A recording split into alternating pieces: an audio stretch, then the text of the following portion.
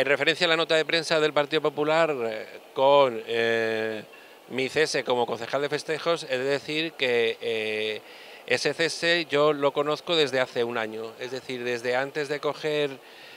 perdón, de, darme la delegación de, de festejos,